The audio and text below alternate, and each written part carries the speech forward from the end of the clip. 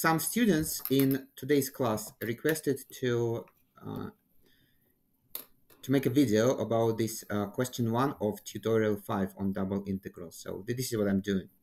I'm going to explain this question uh, in four little videos. In the first one, I'm going to convert these integrals over rectangular regions to iterated integrals.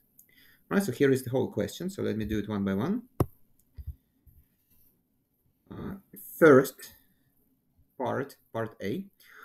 Um, so here, notice that the, the, function that we are integrating uh, is really a product of two functions. One just depends on x, and the second just, just depends on y. Well, the second one is, is just one. So, but um, whenever your integrand is a product of um, a function of x and a function of y, and the region of integration is rectangular, you you can uh, it doesn't matter in which order you are integrating because in either case you will get the product of integrals right? So this is going to be the integral from 0 to 1 uh, by x then the integral from 2 to 3 2 to 3 by y.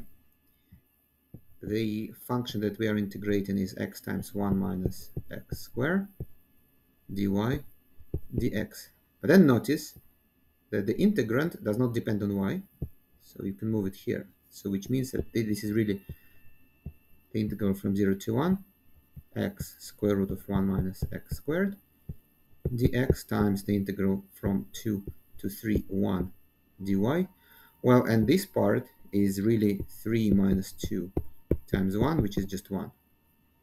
So this is really the integral from 0 to 1 x times square root of 1 minus x squared dx.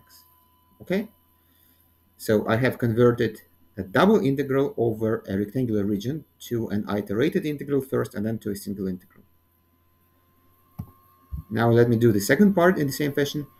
Uh, in the second, uh, in part B, um, notice that the function is completely symmetric in x and y. So the if you switch x and y, you, you will get the same expression. And the limits of integration for x and y are also the same. So which means that this is really just integral from 0 to 1 in x, from 0 to 1 in, in y, and then x, y over square root of 1 plus x square plus y square. And it doesn't really matter in which order you um, you are doing it because it's just symmetric. So dx, dy or dy dx doesn't matter.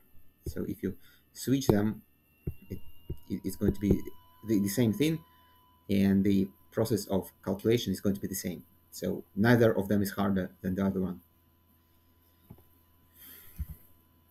Okay, and uh, the last integral. So let me uh, write it,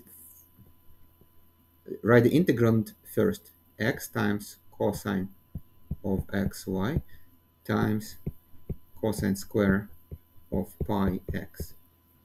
Now, which of the two variables would you rather integrate it with respect to?